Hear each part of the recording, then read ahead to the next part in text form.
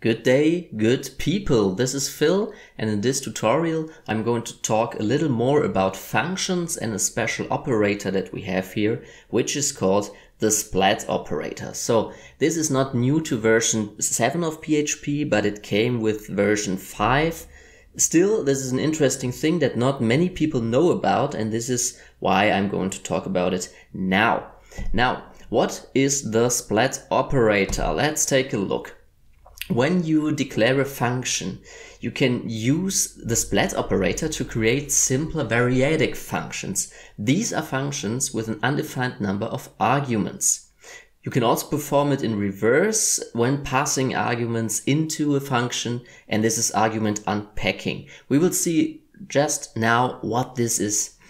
Now, first th things first. Let us create a function, this is not important right now, Let's create a function, okay? A function that takes arguments like, well, like you know it in the past, okay? So for example, we have a function with the name addition and this takes two arguments, let's say A and B, okay? And all this function does is it adds two numbers that you pass to it. So for example, it echoes out a plus b. Now when you call that function, between the parentheses, you can go ahead and give it two numbers. Let's give it two and three now and see what happens. Big surprise, we get five, okay? That's all the function does. But what if you wanted to give it more than two arguments and maybe beforehand you do not know which arguments you are going to pass or even how many you're going to pass. Let's say you wanted to add to call this function with 2, 3 and 5. If you refresh now, well, you still get 5 because it's just gonna go and ignore the third argument here. All right.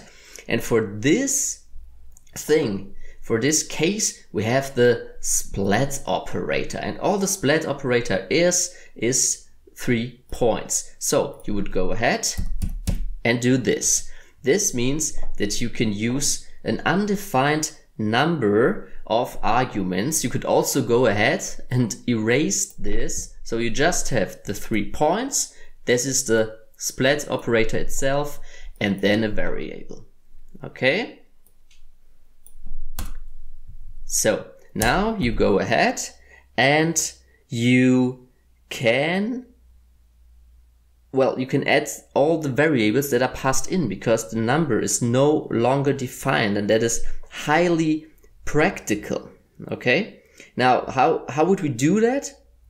Well, first of all, we we cannot do it like this. We cannot just go ahead and echo out b plus b because this doesn't work anymore. And the reason for that is that we have to iterate through these values because it's an array now. Okay. So if you want to echo it out, you cannot go ahead and just do this b plus b because, well, first, first of all, this would um, tell us, you see it here, array to string conversion. And by the way, these are two arguments. And the use of the splat operator is that you do not know how many arguments are being passed actually. Okay. So you need to go ahead and iterate through this array because all the things that you put in the function now are being passed as an array. How do we do that? Okay. The typical thing to iterate through an array is a for each. Let's first of all go ahead and create a sum. Let's say the sum is zero, okay? And then you go ahead and create a for each loop. We did this before. The for each loop has the only goal to iterate through an array. And then you tell it for each b as the temporary variable number. Go ahead, put the curly braces, and in the next line, you add it to the sum, okay? So sum plus equals number. And all that means is sum equals sum plus number. All right. And then out of the for each um, loop, you gotta echo it out, obviously, because or return it because we we need the uh, the result here. Okay, that's all there is, and then you can return the sum or echo it out.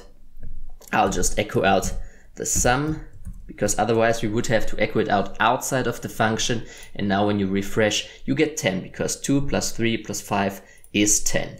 Let's add another argument like 6. Should be 16 now. Here we go. All right. And well, that's the cool thing about this splat operator, that you can pass as many arguments as you want to the function. Okay, very handy, but bear in mind that whatever you pass to that function will be an array now.